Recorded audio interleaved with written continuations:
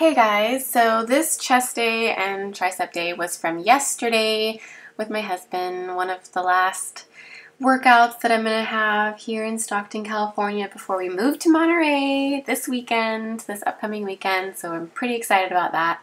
Um, a couple of things about my chest press here. I do like to arch, it helps me push more weight, I like to feel stronger. Um, eventually I might do some powerlifting meets, I don't know, eventually. And so I just feel like this helps keep me stay nice and tight, starting from my shoulder day, shoulder blades, my scapula, and the muscles around it. Um, my entire back is nice and tight. I tighten my abs, I tighten my butt cheeks, I tighten my legs so that everything is super stable and the only thing really moving is my arms.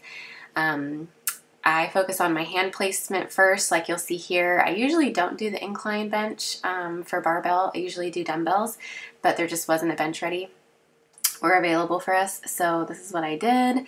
I felt like this was a little light um, when it was all said and done, but I think it's the heaviest that I went. Um, let's see.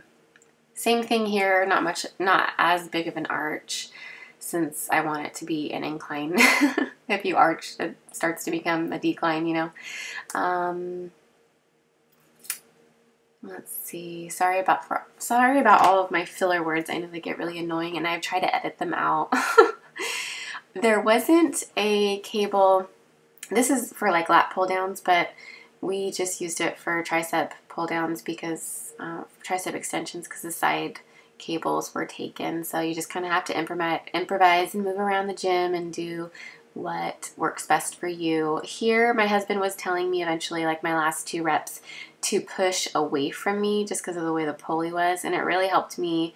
Um, like right here, he's telling me, I think. Oh, wait, here, yeah, there's my face. I'm like, what? Trying to listen to him while I'm listening to my music too. It's nice to have somebody else because they can see things that you can't see. So take advantage of your gym partner. Make sure you have a good one and that you're helping each other out, you know. And I love to do the cable chest, whatever you want to call it. There's not really flies, but whatever it is. It makes me feel like a beast and I feel like the sometimes if I mean, I feel like it helps with the chest and also shoulders and triceps, but I feel like the if it makes you feel good and boosts your morale, then do it. Have fun and, you know, whatever. Do what you want.